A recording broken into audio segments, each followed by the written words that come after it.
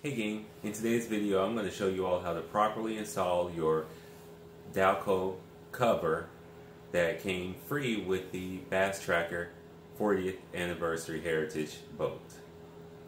I'm also going to show you all other ways to protect your boat while fishing from the elements. Let's get to it. The first thing that we're going to talk about is protecting the seats of your boat and other plastic trim. As we know, the sun with its UV rays can truly, truly damage your paint, your vinyl and plastic products. It can just rob the color right out of it, make it look old and faded and like you don't love it. And uh, so one of the products that I like to use on my kayaks and my cars, anything that is not painted, but more so just raw like plastic, trim and things like that, I use 303 aerospace protectant and um, I've been using it for years. It is a fantastic product. I use it on convertible tops, um, anything, anything, you know, polyurethane kayaks, all of that stuff. You just take it, you spray it, and you wipe it in. It uh, sprays out white, and you just wipe it in, and it protects it. Um, you see those commercials where you have the trucks or vehicles like the Chevy Avalanches, the Toyota FJ Cruisers, anything like that, where you have plastic trim on the side of, and they're like, use this product, spray it on, and it looks brand new. Just use this. This stuff will protect it and bring the shine back, the right color, and uh, it, it just works. I believe in it so much until I have, you know, a lot of 303 The second thing we'll talk about is protecting your electronics. First, you want to make sure that any type of electrical com uh, component has some type of grease on it. Vaseline works, just like you want to your batteries. Just throw a little grease on it, and uh, that'll keep out water. Second thing, make sure everything is protected with some type of protector. Um, a lot of these Garmin fish finders I have, they have these rubber grommets on. So whenever I have a wire that's going to hang out, I make sure that I have the wires protected. I apologize about the angle for this video as we put this cover on. So, you know, th this should just help you get you in the right direction. But if you have any questions, you can ask me in the comments below and I'll try my best to answer it. Or if I have to, I'll do a follow-up video. So you want to start unrolling your cover on the bow of the boat.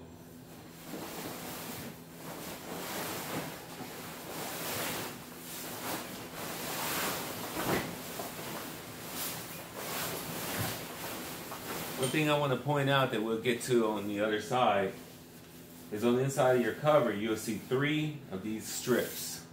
Three of these strips.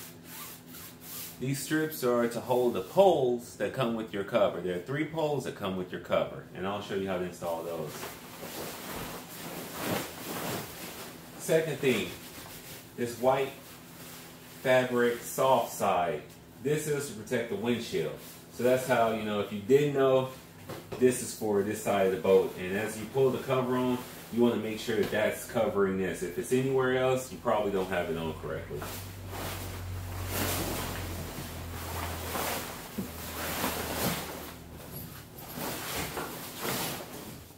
Now, one thing about this cover, this cover is custom made specifically for this boat.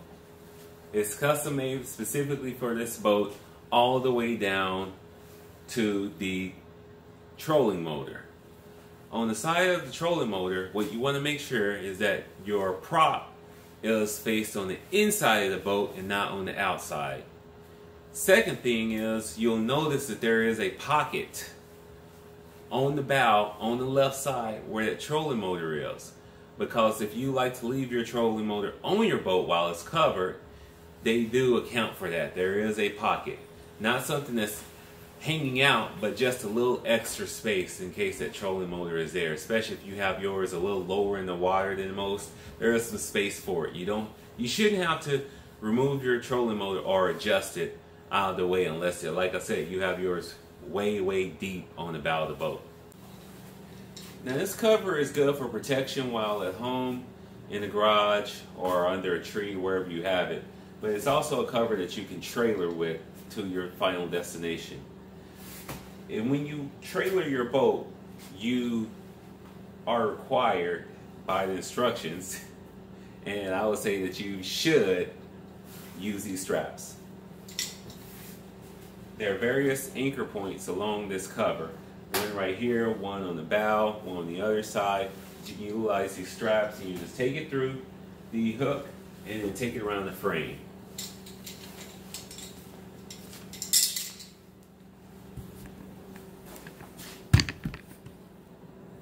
If you're going to be storing your boat at home or trailering it, you must do this step. Now, I didn't show you all this, but if you can't get your cover on your boat, open this ratchet out and let some of this rope out right here.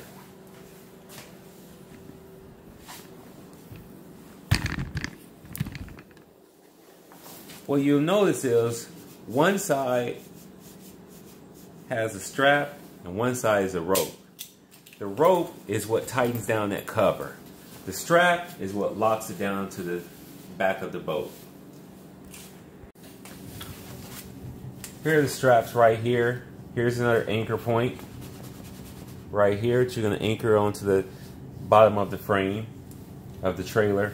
But you're going to use this rubber piece that's going to come across the back of the uh, motor transom mount and um, this is how you lock the boat up. And it's one on this side and one on the other side, but you want to make sure it's going across right there. You're, you're going to connect them. But before you do any strapping, we're not locking anything in place. Now, I didn't show you all any of that. I just showed you where the straps were and where we're going to connect them. But I did not do those. So if you've already done that following the video, that's not what I did. so don't blame me. Let's talk about these poles. You get three of these poles right here. As you notice, we have a little, I'm not sure if you can tell it, but you can look at your bolt cover. There's a little square. Here's a square. And right here is a square. Remember those straps I showed you on the inside of the cover? That's for those straps. Uh, the straps are directly underneath those squares. What we're going to be doing is installing these tubes, and you're going to adjust them. You just untwist it, and they go up and down. They extend and you twist it back and you lock it. So we're to go underneath the cover for this part. You want to be on this side of the boat. And while it's strapped down like that, you can get under here. So we're to put the camera in here and we're to turn some light on and hopefully you all can see what I'm doing. Okay, we are underneath the cover right here. We're to take one of these. Here's a strap hanging down. And uh, like I said, I'm to take this in. You can tell one side of the stick is a base. It almost looks like a base on a, like it would on a, on a walking cane or something or a crutch. And I'm going to take it up, put it on the square, and stick it up. That looks about good right there. Um, I think I've already, this was the one I had in the center. So now that I have the adjustment, I'm going to take this, slide it in the sleeve, and I'm sliding at an angle just so I can get it all the way in the sleeve, and then I push it up like that, and it stands up. Okay, so this one's installed in the center. Now you all see me install the other two.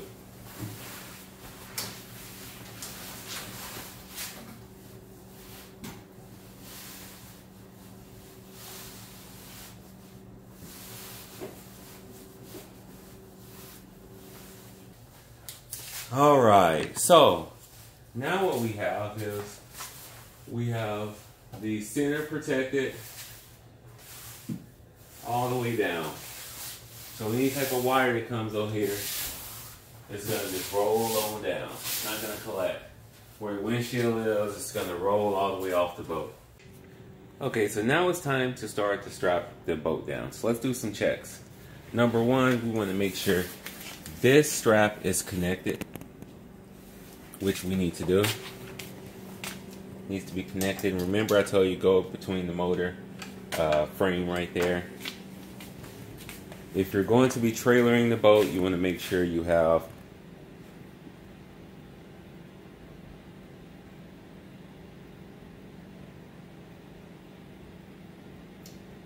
going to be frame, uh, trailering the boat, you want to make sure this strap is strapped down with one of the safety straps and especially the one on the bow of the boat is strapped down. I didn't show you all strapping those down, but follow your instructions. This is just to help you. Now what you want to do is, after everything is done, you want to pull the, as much rope as you can to where it's tight. And then we're going to start ratcheting this thing down.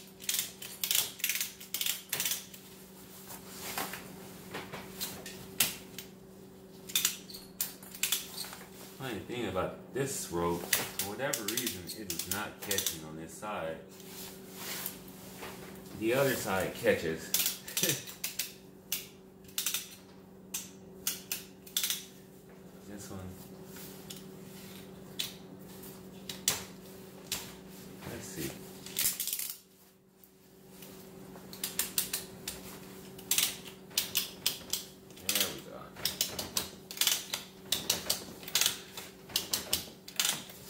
do that to the other side too. This thing is going to be really, really tight. And I hope you all just saw that. What I did was I, it wasn't catching. And um, so we uh, took the string out and then we refed it just so it would get tight within those grooves and it started to do it. So let's go back to this side real quick. Finally, although this is a custom cover and it protects the majority of your boat, you will see that you have this last pocket where water can get inside of the boat, even animals. You know, you might want to make sure that no animals are going to get inside your boat uh, by putting mothballs or something in there, something that make them. I don't know if that'll damage the boat. I, I'm just saying something that won't create some type of toxic uh, corrosion thing to destroy your boat or cover but something to keep the animals out if you can. Um, but the second, uh, the thing is, is that water is going to roll down, and it can roll down to your boat. This hatch right here, the door is aluminum. Water gets on that, that's fine. But you want to make sure that your plug is not in your boat. You know not to do that, right? Don't install, don't keep your plug in your boat. Well, you definitely want, don't want to do it if you're storing your boat outside because water can start to collect inside the boat and um, then you're gonna have an issue. So you want to, you have the plug out, any water that gets inside can drain out. And you also see that I can still access my uh, charger. I have a uh, cable in here underneath this door so I can still keep my boat charged without having to do anything. So only thing you need to remember with that is make sure you disconnect the cable when you're ready to go fishing. Uh, final thing, um, I'm not showing you in this video, but I am going to do it.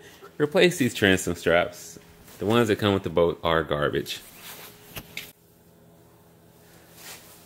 Okay. I decided to go ahead and show you all how to install one of these straps. Just because it might be a little confusing for some. Uh, so what you have is you have the buckle that comes together inside one of these straps. So this is the male end. This is the female end. You want to start the female end first. Take it through one of these anchor points. Start at the top of it. And go back underneath and come through the other side. And now we're going to pull this cable.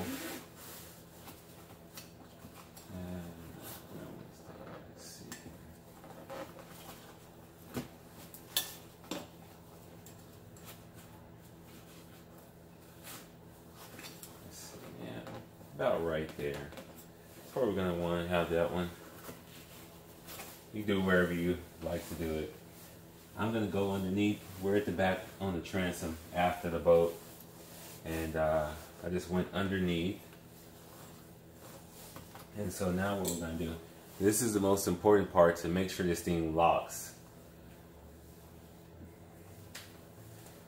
The front of the the front of the strap, there isn't anything, well, I guess you can see the back of it has holes in it, the front is flat. So you want to make sure the back of it is facing the boat. That's the only way this thing will lock. If it's going any other way, that strap will not lock when you want to adjust it. So you're going to just take it in and then go back through the other side. Just leave a little bit, connect it. Once it's connected, then you can pull it down. Hey, Bree. I'm about to come upstairs. There. That strap is on. We'll finally do the other side. The we'll do the other side exact same way. And you just strap it to the trailer. There are no attach points on this trailer. You just go around the frame. Hope that helps. You all take care. All in all, I know it wasn't a big how-to, but I think it's more than what's out there from the Dowco website. And I haven't seen anyone else showing you what to do. So um, if the video helps you, you know, please like uh, the video. If you have any questions, please ask. I'll try to respond back to you. And um, if you really like what I do, please subscribe. This has been another video for the Tracker, Bass Tracker Heritage uh, 40th anniversary boat. It's a whole mouthful to say for this retro bass boat, but it's doggone cool. And I'm happy to be one of the first um, with the boat, you know. So uh, ask any questions. You all take care, Jaime Astin out.